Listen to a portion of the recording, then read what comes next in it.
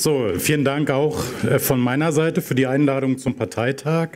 Ähm, Rede hier für Doro Zinke, die leider erkrankt ist, ähm, die aber trotz alledem gerne hier gewesen wäre. Und natürlich ist, glaube ich, auch bekannt, dass gerade Thema Europa ähm, von ihr äh, ein wichtiges Anliegen ist, da sie ja auch ein paar Jahre in Brüssel tätig war. Ähm, für mich ähm, oder für uns als Gewerkschaften haben wir ja nochmal eine andere Verfasstheit. Wir haben einen Europäischen Gewerkschaftsbund, wo wir zusammenarbeiten, wo wir ähm, in den letzten Jahren wirklich viel Energie reingelegt haben, dort auch auf europäischer Ebene zusammen mit den anderen Dachgewerkschaften aus den europäischen Staaten Dinge gemeinsam zu initiieren.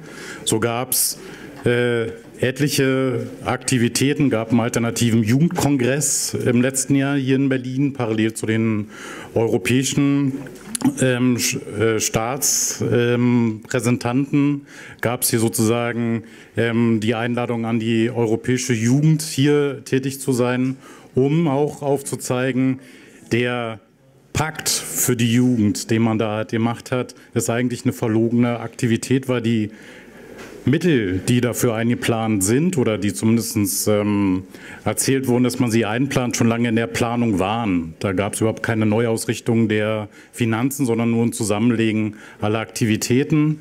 Ähm, die Situation in den südeuropäischen Staaten habt ihr schon oder wurde hier schon berichtet.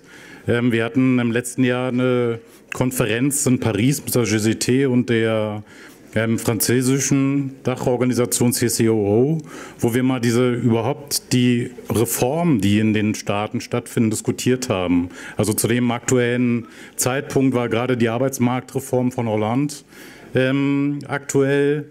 Die, Franz äh, die, unsere spanischen Kollegen haben über die Rentenpolitik geredet ähm, und wir konnten natürlich darüber berichten, welche ähm, verheerenden Entwicklungen auf dem Arbeitsmarkt die Hartz-Reform geführt haben.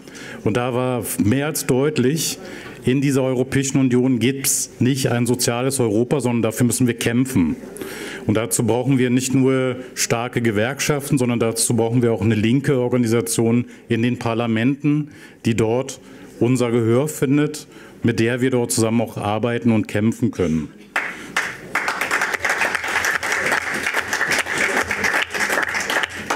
Ähm, Sebastian hat ja schon sehr eindrucksvoll geschildert, welche Dinge ähm, er jetzt in, in, in, Wien macht. Davor war er ja bei uns aktiv und hat insbesondere die polnische ähm, Ebene, also die deutsch-polnische Zusammenarbeit ähm, geprägt. Wir haben halt vielleicht wisst ihr es nicht, aber ähm, ist vielleicht erwähnenswert.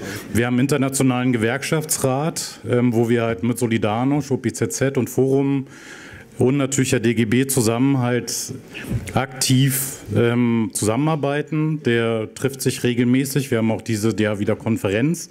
Ähm, und dort ist halt für uns auch ähm, immer wieder interessant ähm, zu erfahren, welche Aktivitäten halt ähm, polnische Gewerkschaften dort machen und wie dort auch ähm, aktiv gegen die ähm, Reformen, die die Regierung dort anstreben, vorgegangen wird und wie gut man sich da austauschen kann. Insofern ist es für uns nicht immer eine Geschichte, die halt fern weg ist, sondern wo wir halt feststellen, die ist halt nah dran.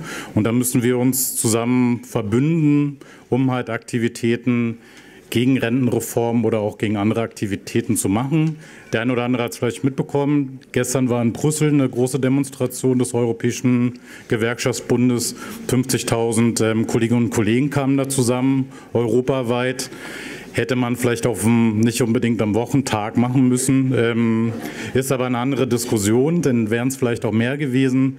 Ähm, nichtsdestotrotz waren dann eine Menge ähm, Kolleginnen und Kollegen dabei, um halt klarzumachen, wir als Gewerkschaften sind gegen die Finanzpolitik der Europäischen Union. Wir sind für eine Sozialunion, wo wirklich darum geht, dass man halt gemeinsam sich nicht an den Schlechtesten ausrichtet, sondern dass man gemeinsam eine Einheit schafft, wo es halt wirklich darum geht, die bestmöglichen Regelungen für alle europäischen ähm, Arbeitnehmer und Bürger und Bürgerinnen zu finden.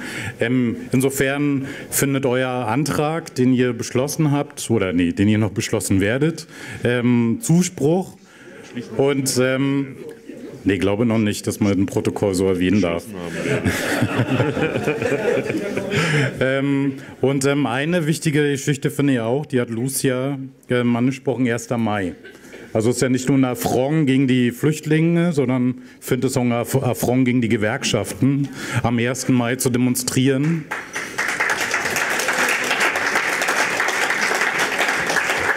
Und ähm, hier ist natürlich ähm, klar, nicht nur als Neu linker Neuköllner, ähm, sondern so oder so ähm, als Berliner, dass man an der Stelle zusammen ähm, mobilisiert. Also klar haben wir eine etwas größere Demo noch selber ähm, am Hacken, in Anführungsstrichen, also in der Organisation.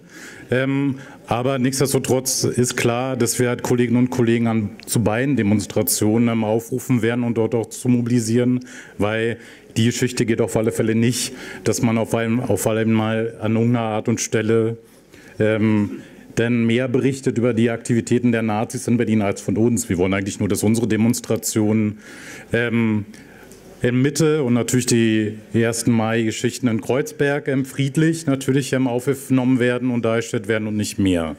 Insofern ähm, bleibt auch hier vielen Dank für die Zusammenarbeit, weil gerade bei den Aktivitäten ähm, für Flüchtlinge und gegen die, bei den Aktivitäten gegen die Nazis trifft man sich immer wieder an Demonstrationsorten und Kundgebungsorten.